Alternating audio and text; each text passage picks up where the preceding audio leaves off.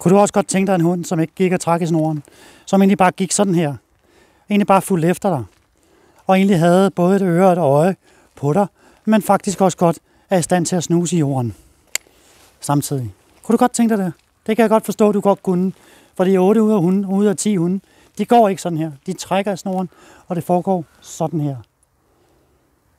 Nu kan jeg se, nu satte hun sig bare, da jeg egentlig stoppede, og det er jo så også en del af det.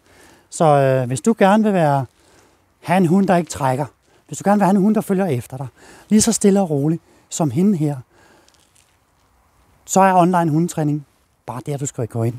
Så gå ind og kig på dogwhisper.dk, så er du allerede godt i gang. Så øh, vi ses. Kom skat.